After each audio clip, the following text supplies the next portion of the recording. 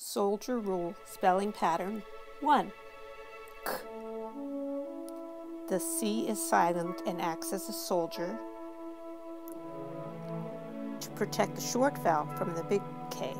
You find it mostly at the end of a one syllable word like jack, sick, peck, lock, truck, pickle, pocket.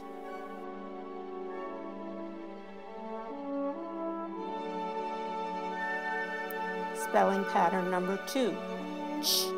The t is silent and acts as a soldier to protect the short vowel from the big ch, mostly found at the end of a one syllable word, like match, pitch, fetch, botch, hutch, and kitchen.